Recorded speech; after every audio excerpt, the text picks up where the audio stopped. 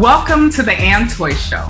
Today we have with us Matthew Carter, model, actor, filmmaker, and author, HIV and AIDS advocate, and founder and CEO of A Real Desire.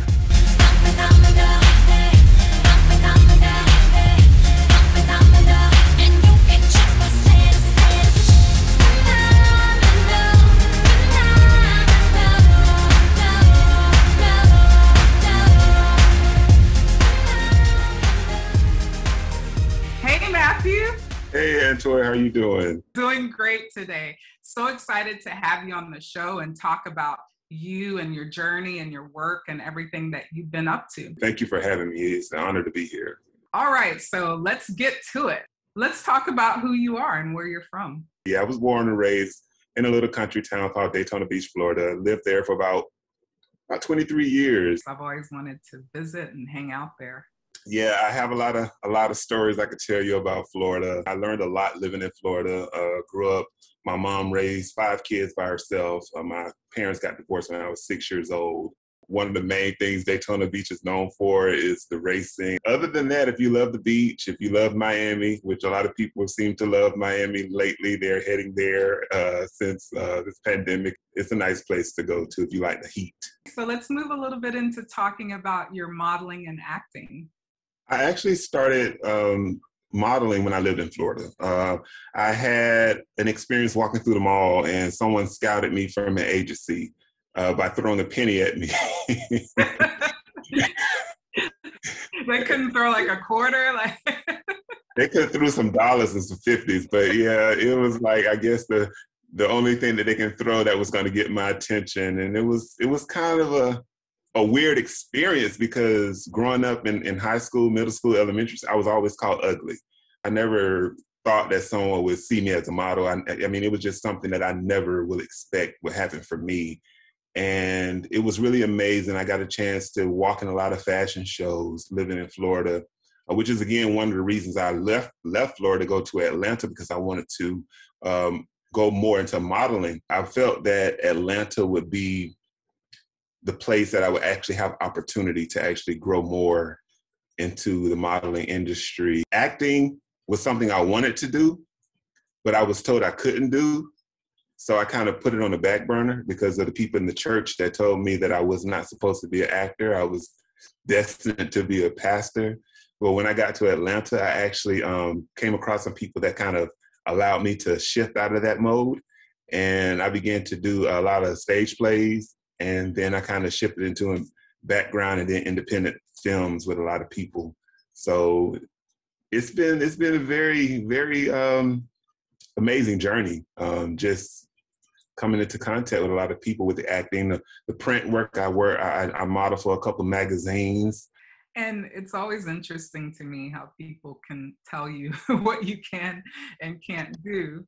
That was the crazy part, I, I, and I want to say, especially as a child, when you hear things like that, it can it can definitely um, cancel your dreams because you're you're expecting people to pour into you at a young age, and when they don't, and you don't have the confidence yourself, it can definitely cause you to stop how were you able to even with all those voices still like pursue it? I was always told i was weird as a child uh, because i would pray a lot. I was i was a praying i was a praying kid because my mom um, i watched her and i saw how things happen on a miraculous level and it made me you know gravitate towards that.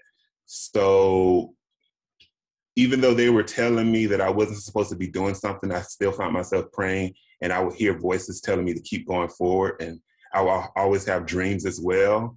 And because of those dreams, I, it was hard for me to just completely stop. So I always had in the back of my mind that I still wanted to kind of do it. And then when I actually moved to Atlanta, the church that I actually uh, connected with, they kind of helped me to understand that whoever was telling me that was being misguided and that I should have not um, stopped, but there's still opportunity for me to keep moving forward. And then it also helped me to understand that what I was hearing was not the devil like I was being told, but it was definitely something that I should continue to listen to, and it was going to help me to actually evolve to be uh, the person that I was destined to be. And they kind of poured into me in a positive way, kind of canceling out the negative things that people were saying. And also, too, it, the church that I was going to in Florida, they didn't do um, any kind of plays or any like things that churches normally do. The churches in Atlanta did. So every Easter or uh, Christmas time, you know, they had me to participate because they knew how passionate I was about uh, pursuing that uh, dream as an actor. Let's talk a little bit about your work with HIV and AIDS as an advocate. When I got my diagnosis, um, after going through my transition of crying, trying to figure out why me, why me, and uh, hearing God tell me, why not you? Again, reflecting on everything that I've overcome and realizing that I was being used to kind of pour into people and restore a lot of people who had that diagnosis as well, and started searching different companies who actually uh, allow people to be advocates um, to talk about the diagnosis with HIV. Also, started reflecting on growing up and hearing about other people who were diagnosed, and the first thing people would say is, "Oh, they're sick," and it was just a negative thing. And I wanted to show people that just because someone was diagnosed with something, it, it didn't have to always reflect something negative. I just took it upon myself and hearing the voices that I was hearing to to move forward and to spread light and be a light for somebody and just connect with companies and told them, hey, if you're looking for someone to to speak about this, I have been understanding a lot of people are afraid to even talk about it, say anything about them having it. I would love to share my story and be a face to kind of educate people, to give them understanding from what I'm learning so that they don't feel alone. And a company called Gilead was just very touched by a lot that I was doing and, and self, you know, advocating. And they decided to go ahead and bring me in and make me part of the team. In the 90s, I was living in New York, and when HIV and first came out, it was it was scary. It was a scary time for everyone. And I think people thought at that time, you know, if they contracted HIV, it was like literally a death sentence. What are some things you can kind of tell us right now as far as educating us about HIV and AIDS? Well, a lot of people actually still do feel like it's a death sentence, especially people who get diagnosed um, how they found out. The, the medicine now, I should just say, is so advanced than it was back in the 80s. So they have one pill, you can take one pill as opposed to back then you had to take a, a cocktail of pills and you can get undetectable. What does undetectable mean? Undetectable means that when you go get tested um, for the HIV virus, the number or the virus is so low it can't be detected in your system. But it's still in the system, but just not detectable it's still going to be listed in your system because you've tested positive, but it can't be found by any tests. And when someone tests undetectable, are they still able to transmit it? Undetectable actually means that you won't transmit it. That's a uh, formula that they use that's called U equals U, and it's undetectable equals untransmittable.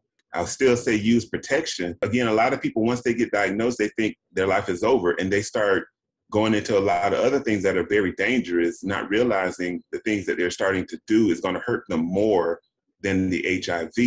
So they end up getting addicted to drugs and, and then they start having unprotected sex and they end up getting all these other STDs that will end up causing them to have a lot more issues than just having to deal with the HIV. But it's definitely a mental thing because a lot of people fall into depression. And that's another reason why I'm doing what I can because depression is the is the main thing that we really have to conquer because that's what caused people to do a lot of things that they're doing.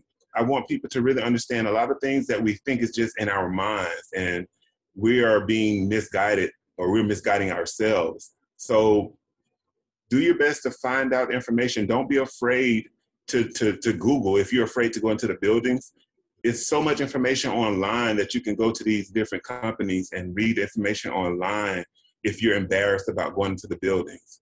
Uh, there's so many different phone numbers that you can call that you can get information and get support, and people will just call you and check on you. It is so many ways to get help. You just have to be willing to accept it. And then once you start going through the process and even the therapy, You know, it's so many so many things available that that you can have access to. Would you say the quality of life now is much better than it was in the 80s or 90s when HIV first started? It was a little easier for me um, because I was already eating healthy. I was already exercising and doing those things. And they encourage you to do that a little bit more if you're not, because your body definitely needs to be healthy to be able to fight uh, what what it's fighting against.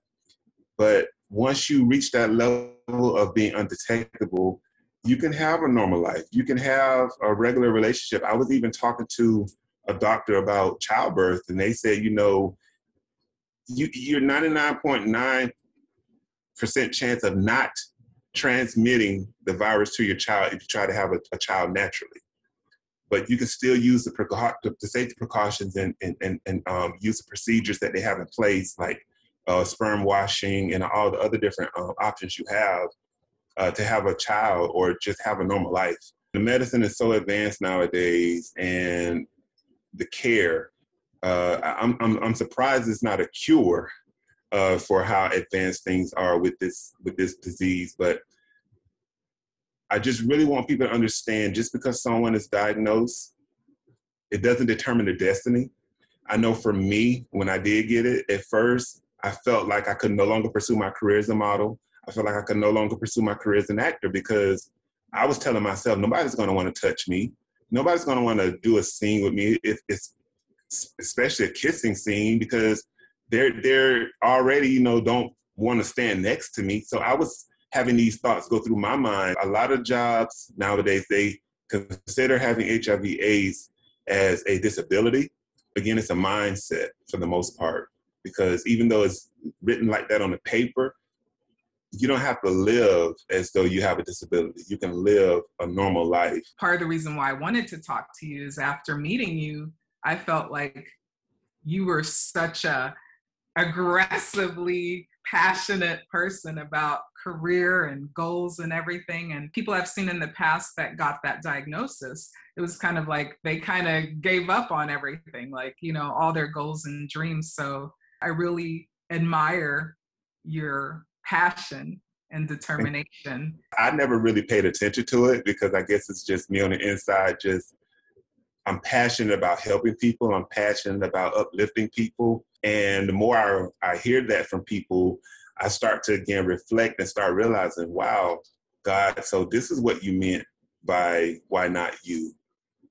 Because I'm really not doing it because I feel like I have to. It's really something I want to do. I don't know anybody else's belief, but I believe in God. And for me, uh, growing up, I would hear that his understanding is not our understanding. And as I go through life, I'm starting to understand a little bit more why I was put on this journey. And I'm very grateful and thankful. And I'm glad I accepted and said, yes, I will bear that cross. Not understanding at the time well, we're thankful that you're doing this work and bringing awareness and supporting people with HIV and AIDS. And right now with coronavirus, it's almost like no one's kind of thinking about any other type of virus, but you know, HIV and AIDS is still out there, and it's awesome that you're doing this work. Coronavirus is causing a lot of people because they have to stay home. They have a lot of pent up energy, and they do tend to forget they still have to stay protected, um, you know, and that there are things out there that they have to be cautious of, even though those desires from being home the cabin fever is getting to them. I think everyone has cabin fever right now. do you know how you contracted HIV? Actually, I do. Um, and I feel as though that was more of a a burden on me than actually uh, being diagnosed with HIV. Caught my ex cheating on me, and I was already feeling um, a bit weird because I'm one of those people that are very in tune with their body. And so when I did catch them cheating, I went to get tested the next day. And that's when I found out the reason I was feeling the way I was was because I was introduced to this virus. When I got the news, I, I cried. I cried for three days. I, and that was one of the things that hurt me the most. One of the things that hurt me the most because I felt betrayed. After going through the phase of just pouring my heart out to God after getting this diagnosis, that's when I started to get the messages that I can do this and I can transmutate this negative situation and I can live. That was the moment I shifted my perspective. And that's when I said, I'll do what I can when I can while I can until he calls me home. And how long has it been since your initial diagnosis to now? My initial diagnosis was March of 2007. And during that time, you've managed to do so much. I really want to help people. And it's kind of from that that perspective of a father, I guess you can say, who doesn't want his children to go through what he went through.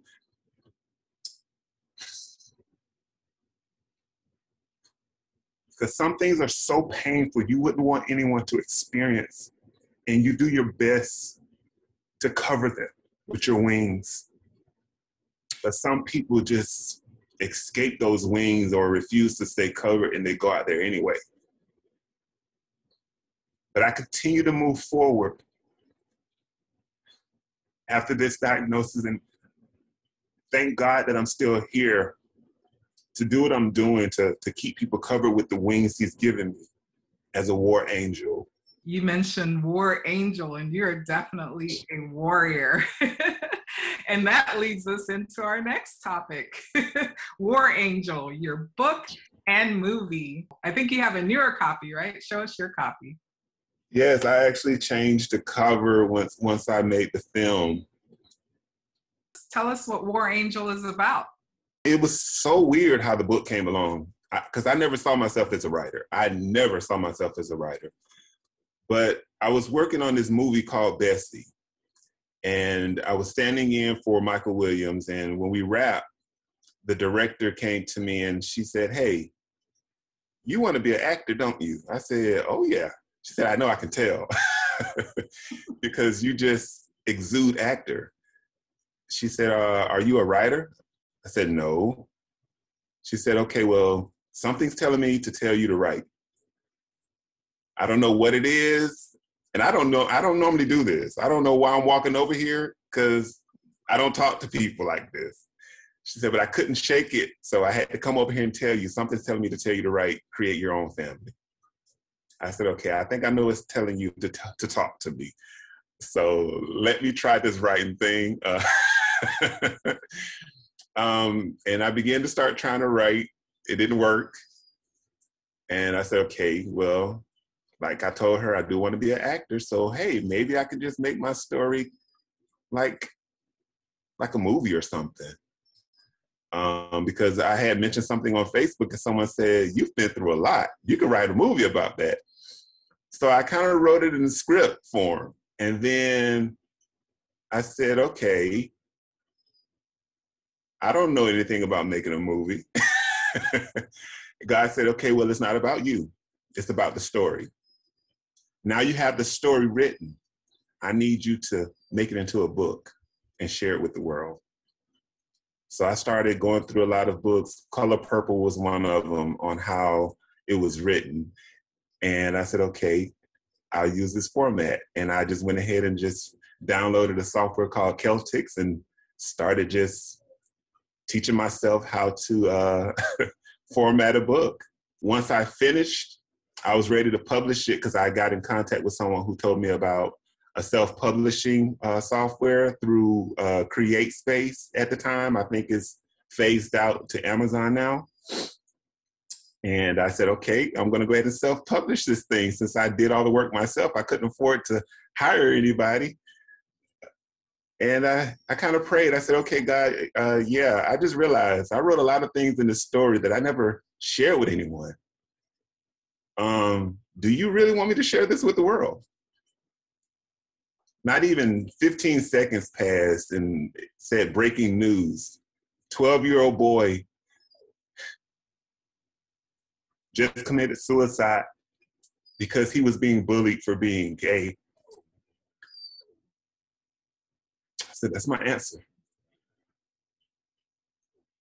They cannot feel like they are alone Because I remember when I was 12 and I was going through so much and I felt like I was by myself. I'm going to share this story and I'm going to let them know they are not alone. And God does love them despite what people are telling them. And I self published the story. And next thing I know, people telling me he's a hero and a hero was born. I was just amazed at what was happening with, with me sharing the story. Is the book based loosely on your story? The book is a combination of physical events, visions, and dreams that I've had. It actually uh, starts out with um, a message, a message that I received, and how a lot of people nowadays still conduct themselves the way that a lot of people in the Bible did when it was written. One of the stories I was, I kind of, I minimized how many people were, attacked me, um, but it, it, it, talks about how I was attacked by religious people, physically attacked, uh, who tried to literally kill me. Let's just say their intentions were reversed.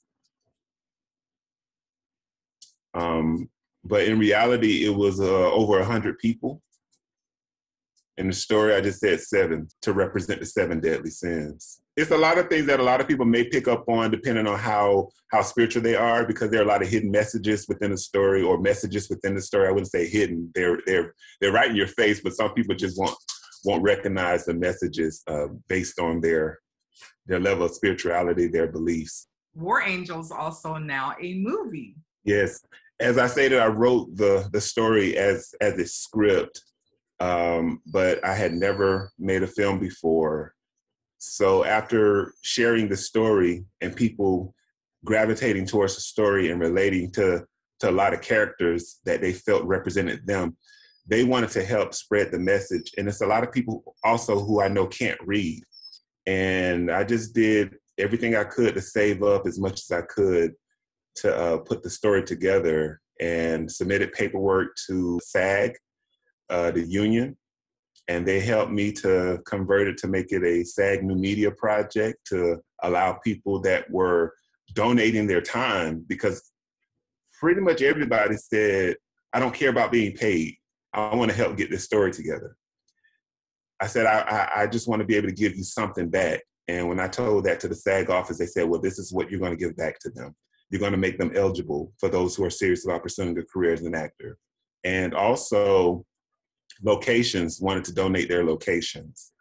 So we were able to get it completed. It was my first time ever making a movie. I doubted myself so much because I never made a movie. But again, I was determined to share the story to the people who could not read and also give the visual to a lot of people who missed some of the messages as best as possible. And we created a film in Atlanta. Uh, my first time editing a movie as well. And once I finished editing everything, I put it on YouTube so people will be able to watch it free of charge. And that leads us into a real desire your nonprofit. After finally starting to realize that I can have a life, I can live, I was going on uh, auditions uh, as a model and I created business cards that were almost like comp cards. And I had my name, and then I put underneath a real desire. And as I was talking to some of the models that were there audition, they said, "Oh, a real desire. What's the name of your agency?" I said, "No." they said, "Well, a company that you work for." I said, "No." Well, what is it? I said, "It's what I have. I have a real desire. I'm, I'm gonna, I'm gonna make something of myself." They said, Well, it sounds like a company. You should use that. I said, No, that'll be fine. And they was like, Well, you're giving people advice and information based on what you're experiencing. People would pay you for that. I said, Well, I don't want people to pay me to help them. I mean, I, I don't mind sharing what I've experienced if it's going to help them to not go through that. They said, Well, you should charge people. You can make a killing off of that. So I talked to God. I said, Okay, I want to help people, but I don't want to have to charge people. And someone heard me because I tend to talk out loud sometimes. she said, "Well, I work for uh, the Georgia State Department. We can actually turn that into a nonprofit or a nonprofit organization for you, no charge." I said, "Really?" She said, "Yeah, because we need something like that." And I'm hearing what you want to do, and you can do that, and you can help people, and you can do it this way and then people can pour into you and donate and help you. And I was like, yeah, that's amazing. Let's do that. So next thing I know, I had a nonprofit organization. Then next thing I know, I said, well, instead of me using my tax return to go buy a car, I'm going to apply for my 501c3 status because people are trying to charge me $1,500 for the ones who are trying to take advantage of me. And someone else from the IRS reached out and said, no, we can help you do the paperwork and you just pay the $400 to get things filed. It normally takes about a year or two, but it's, it's a lot cheaper. I said, well, let's do it. I filed the paperwork. Within three months, everything was approved. Can you tell us some of the things that you do with a real desire? One thing that really pushed me to start a real desire was I would go to an audition and they would say, just work on that. But they would never tell me what to work on. So I was kind of in the wind on what to do. And I created the organization to be able to reach out to other people in the industry to come and give people exact information on what they need to do and what they need to work on to better their passion, be it a dancer, singer, model, actor, whatever it is in the, in the performing arts industry. I want to be able to educate them with the schooling that they need without them having to pay anything and just prepare them for their for their for their dream career. I enjoy putting on the different talent shows with the with the kids or adults as well, so that they can get a chance to perform for someone that's different from the family. And then at the same time, I invite people like agencies or somebody uh, from probably a TV network to come and, and watch these kids to, to hopefully give them an opportunity to connect with someone who has a much bigger platform than I do, giving people that opportunity to experience performing for an audience is like something on their bucket list or something that they wish they could do.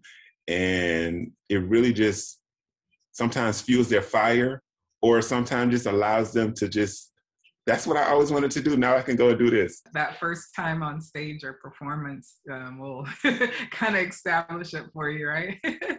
yes. So now I'm in a process of even furthering that because I moved to New York to get more insight with a lot of things. And now I'm prepared to take a real desire to a whole nother level. I'm wanting to include foster care because a lot of people in foster care, they are not able to pursue a passion. They're just kind of lost. So it's so many things I see that can help, or the organization can help with, that I really want to to elevate and build with. That's awesome. I wish I had that when I got started. and that's how, and that's what I think leads us to start a lot of these organizations because a lot of things we don't have. Again, we want other people to have it because we know what it feels like to not have it. And that's really what drives drives me to to build this organization. You're doing so many amazing things in front and behind the camera and behind the scenes and your activism. And i just i think it's amazing. I think it's amazing. Um, to have gone through what you've gone through and and still you know be guided you know with god by your side just you know going going forward that's one of the blessings that I'm grateful for. um Because I know a lot of times when people start reading the story, like you you went through all of this and you're still smiling.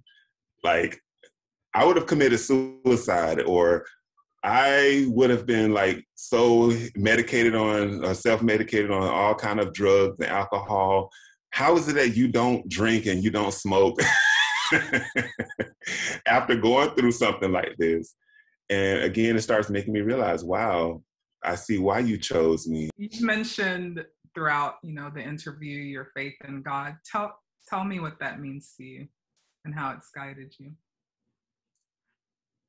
Well, like I said, ever since I was a kid, I would would see my mom pray, and I saw her prayers answered because her faith wasn't shaken, and it helped to strengthen my faith, and also a lot of things I experienced as a child, a lot of dreams I had, a lot of visions I had as a child, and what even strengthened my faith more was after leaving the church uh, because of what a lot of people were saying to me, and it made me feel unwanted. I, I, grew up in a Pentecostal church, and they were very, some of them were very ruthless when it came to their words. And there were a lot of things I was I was dealing with that I didn't share with a lot of people at the church because I already knew how they felt about it because they had already verbalized it. So it didn't make any sense for me to share anything with them. So I decided, well, they're judging me. They don't want to accept me, and and their you know their their words pretty much, I'm not wanted, and God doesn't love me. All my experience with leaving the church allowed me to actually get closer to God. And at first, I didn't understand it either. And my relationship really grew after leaving the church. So when I did decide to come back to the church, I started correcting them. I started actually telling them, well, this is what I learned. This is what I was shown. And you're saying this, but you can't do the first rule that you're telling people that they should do, which is love thy neighbor as thyself. Or is it that you don't love yourself? So I was actually able to build my confidence as well while I built that relationship. And I started really understanding what faith was. You know, it saddens me to hear that, you know, going away from the church made you strong. But, you know, sometimes we're when we're in that crowd, you know, um, it's hard to hear the voice we need to hear. Well, I'm glad you were able to strengthen your relationship and definitely be open to listening to be divinely guided through this whole process. That's awesome. Tell us about your gospel mime work. That's another thing I really enjoy doing um, because I realize for some people it can be entertainment, and for a lot of other people, I found that it's healing their soul. Um, it's a way for me. It's gospel music, and it's it's also a way that you could say I'm kind of using my acting career because I do my best to tell a story with just movements. Because of the energy in the song, a lot of people a lot of times are restored, or sometimes it just helps them to just, as we say, wusa. Uh, but it is amazing because it is such a healing moment for, from what I've been told. It kind of came to me by accident. Um, when I was going to the church that actually showed me and told me that because of what I was, being a bisexual male, that I could still do work for God. And yes, that was God talking to me. And yes, I could still do things with the church. And I kind of saw someone do it one day and I felt my body moving while they were actually up there. And I said, This is something I think I want to do. And I kind of taught myself how to do it and just allowed my body to just speak to the people. And to be honest with you, some people say it's a form of ministry you were right. You are a minister or a pastor. oh my gosh. You know the crazy thing, Antoy, it's like I have people when they see me my mime, or I guess when I say certain things to kind of pour into them, they'll send me a message say, Hey pastor. I say, Pastor? I'm not a pastor. I'm not a pastor. well, you my pastor because you pour it to me. I say, Oh my gosh you know as artists our our work can be our ministry you know because we do if we're doing it from passion and and with the proper guidance we we can change lives. We can make a difference you know? Yes. so i look at my work as you know my gift and my ministry you know? Whatever i'm doing if i'm acting whatever it may be. So i think it's kind of the same for you. It, it really is and i guess it just kind of throws me because i'm not doing it for titles. I just do it because I just really, I enjoy helping people. I really enjoy helping people. I know for a while I was putting myself in predicaments or putting myself in situations trying to help people and just sacrificing everything I had just to make sure other people have. Um,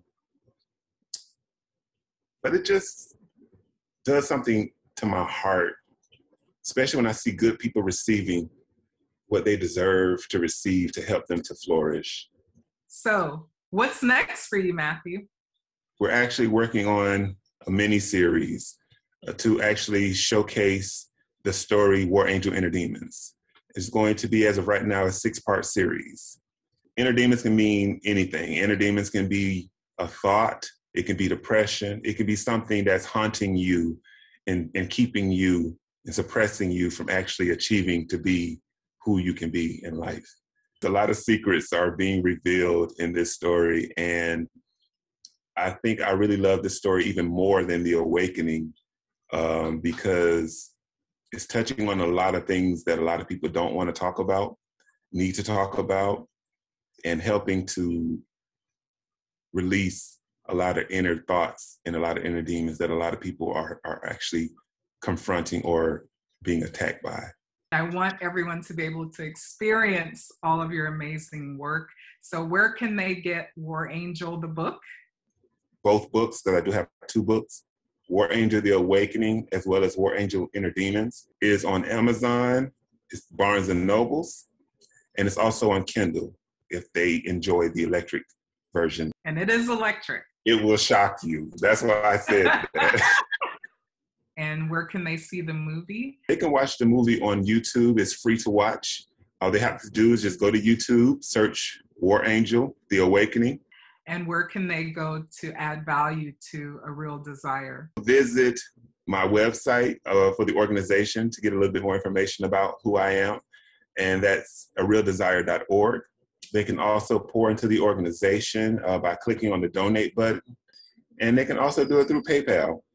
If anybody's interested in investing in any projects that we're working on, please feel free to do so. And if they just want to connect with me personally, I'm on Facebook uh, all about Matt. I also have an Instagram, uh, War Angel Reborn. Uh, there's also an Instagram for the organization, A Real Desire. I'm here if, if, if anybody has any questions they want to ask me, feel free to reach out to me. Awesome. So there are many ways that you guys can support Matthew in all of the work that he's doing with HIV and AIDS as an actor, model, gospel mime, or supporting the nonprofit where he's helping artists to realize their dreams. All right, so go and check out Matthew, get his book, watch the movie, and contribute and add value to all the amazing things he's working on. Add him on your social media so that you can follow him and stay up to date on all of his amazing activities. So, what advice would you like to leave our viewers with? A diagnosis is not your destiny. And if you come across someone else who was diagnosed with something, don't judge them based on that diagnosis. A lot of people, which is why I take the pictures I take, don't look like what they're going through. So you have to be very careful on how you actually talk to people sometimes because you never know what they're dealing with don't expect other people to have the same passion that you have for your dream.